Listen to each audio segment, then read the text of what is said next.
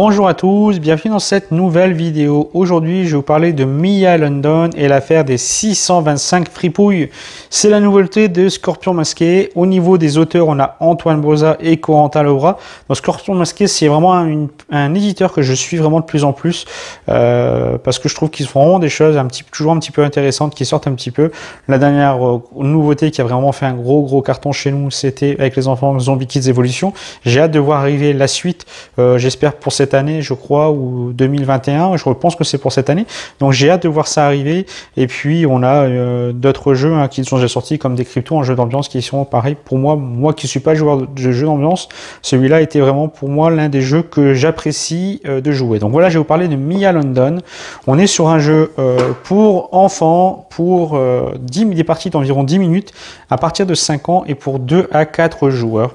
Donc c'est un petit jeu d'enquête, un petit peu, on va retrouver pour ceux qui ont en enfance le côté un petit peu qui est où on essaie quelqu'un avec une moustache, des lunettes, ainsi de suite. Mais là, si là, on va pas supprimer un dans qui est.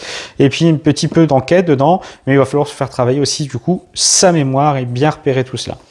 Donc pour se mettre un petit peu dans l'ambiance, donc euh, Mia London euh, est à la recherche du coup d'un coupable euh, et pour cela en fait elle aura quatre indices et on va avoir chaque joueur va avoir un petit carnet comme ça pour il va pouvoir y mettre ses indices. Au début de la partie c'est assez simple. Pour donner un petit peu d'ambiance, on va prendre l'un des plateaux, enfin on va ouvrir l'un des carnets pardon. On va tourner, c'est pour donner une petite histoire au jeu. Hop, on va tourner des éléments, peu importe, hein, au hasard. Et on va lire l'histoire. Donc comme là ici, un gredin à la moustache ébouriffante a déroulé tous les rouleaux de papier toilette sur le plus grand monument du pays le jour de Noël mais Mia London a déjà un portrait du responsable. Et donc nous, on va devoir enquêter. Voilà l'enquête, voilà ce qui a été demandé. Il va falloir essayer de trouver le coupable. Et donc tous, les joueurs vont devoir prendre du coup un carnet. Donc on peut y jouer jusqu'à 4. Chacun aura donc son propre carnet. Ensuite, on va avoir euh, tout un tas de cartes comme ça. On va avoir quatre couleurs. Les couleurs pour chaque type qu'on va devoir essayer de trouver. Le chapeau, tout en haut. Ensuite, les lunettes en deuxième position. Ensuite, la moustache. Et enfin, on finira par le nœud papillon.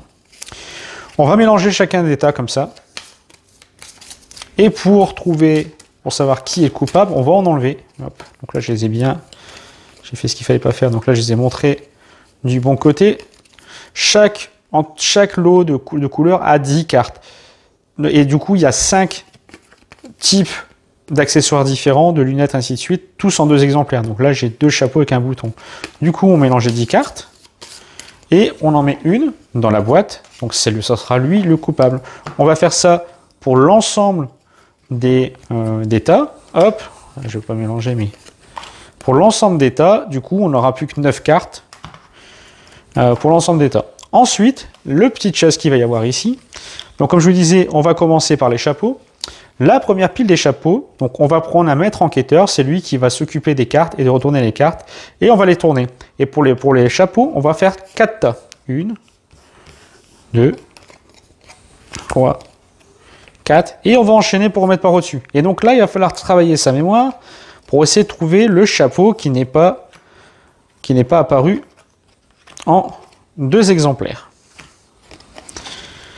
Une fois qu'on a fait ça, tous les joueurs ont fait ça, ils vont tous prendre leur carnet. Et donc, par rapport au chapeau, ils vont tout simplement dire, hop,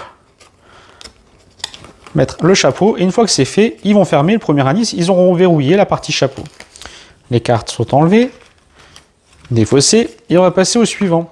Mais le suivant, bien sûr, on va un petit peu changer. sur le premier, on avait 4 tas. On va recommencer le même principe.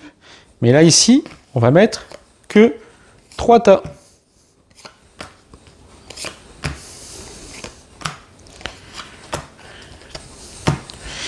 Hop, on ouvre son carnet. Tous les joueurs ouvrent leur carnet, hein, bien sûr, face cachée. On cherche euh, les lunettes qui pourraient correspondre.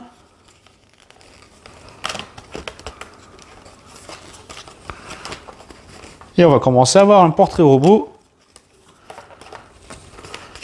de notre coupable. On va ranger tout cela. On va recommencer avec les moustaches. Et donc là, si vous avez un petit peu suivi, on va ne plus faire que deux tas. Donc là, on continue et on essaye de trouver la moustache qui pourrait correspondre. Donc on laisse en général toujours deux secondes. Je vous dis, je suis pas très très bon à ce type de jeu là. Donc là, j'ai fait la vidéo. Je pense que je vais sûrement faire euh, des erreurs. Donc je vais même pas trop me Je vais dire, moi, pour, moi, ça me paraît être celle-là. Une fois qu'on a tous fait ça, on arrive sur le dernier. Et sur le dernier, il n'y aura qu'un seul tas, le nœud papillon. Et là, on va les faire défiler une nouvelle fois.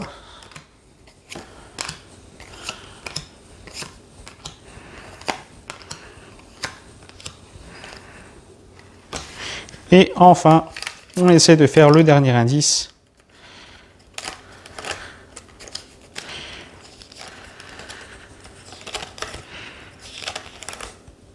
Hop, et c'est terminé. Une fois que ça c'est terminé, on va tout simplement prendre du coup les fiches du coupable. Donc tous les joueurs vont révéler leur carnet et on va commencer donc par le haut et vérifier.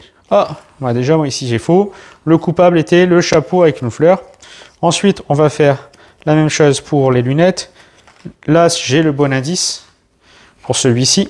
Du coup, j'ai au moins un indice. On va faire les moustaches. Moustache, j'ai pas le bon indice. Et on va faire le nœud papillon, j'ai le bon indice. Donc là, j'ai deux indices sur quatre. Un joueur qui aurait remporté les quatre indices, à ce moment-là, c'est lui le gagnant.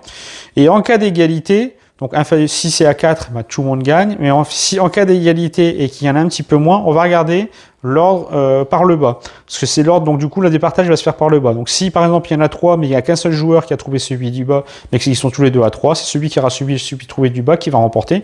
Puisque dans le dernier tas, on ne retourne qu'un seul tas, on va tout faire ça, on va rechercher que parmi un seul tas, alors que les autres, il y a un peu plus de facilité, puisqu'on a 2, 3, jusque 4 tas. Et vous avez donc du coup euh, toutes les règles de euh, Mia London et l'affaire des 625 fripouilles, puisqu'il y a 625 combinaisons possibles. Donc vous avez vu, la mécanique est assez simple, ça marche très bien avec les enfants parce qu'ils ont une très bonne mémoire en général, euh, mais on voit tellement quand même passer les choses qu'on est un petit peu, on, arrive à se mélanger un petit peu les pinceaux. La partie est vraiment faite en moins, vraiment en moins de 10 minutes. Hein. En moins de 10 minutes, la partie elle est faite. 10 minutes, c'est le dénouement compris et la mise en place. Hein. Donc c'était Mia London. J'espère que cette vidéo vous a plu. Comme d'habitude, n'hésitez pas à liker, partager. Euh, vous abonner si ce n'est pas encore fait, me laisser des commentaires qui font toujours plaisir. En général, je mets un petit clin d'œil en disant que je ne suis pas à l'abri d'un oubli ou d'une erreur de règle. Je pense que sur celle-ci, je ne pense avoir rien oublié, euh, mais on, ne sait jamais. Euh, donc je vous invite à lire la règle du jeu que je n'ai pas présentée, mais comme vous pouvez voir, elle réside en 4 pages recto verso. A ciao, bye bye pour une autre vidéo.